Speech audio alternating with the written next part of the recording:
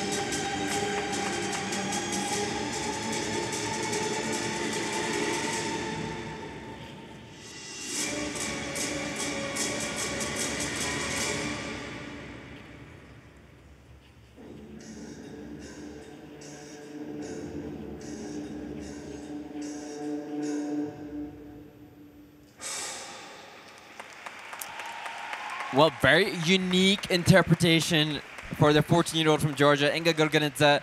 Just that fall in the triple lutz.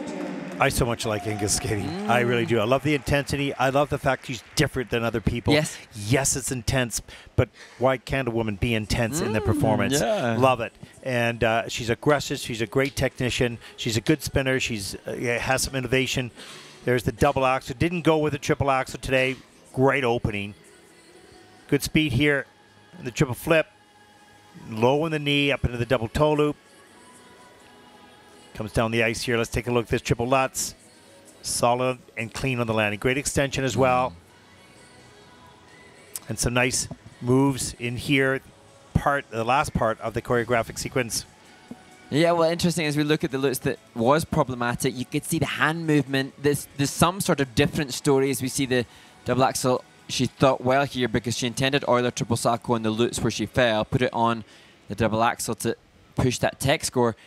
But there was some sort of story. There, you know, you can see through hmm. the dress, through the finish.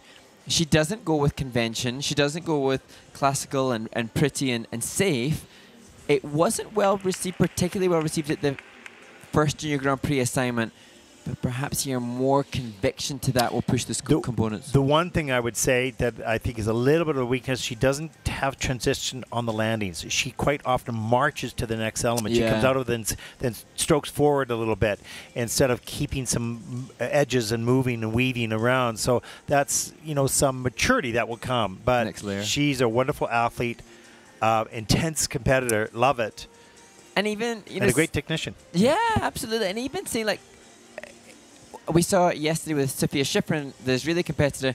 Inga, she's got purple hair dye. She's got a different choice. She's got her own unique stance, and I think it's to be applauded and encouraged that skaters can push that individuality rather than just always stick They need to conventional. to keep the sport interesting. You need to. Season's best 110.43. That's second in the free program with a 165.90. Inga will take over second place for this moment. At this moment in the competition, there are four skaters yet to skate.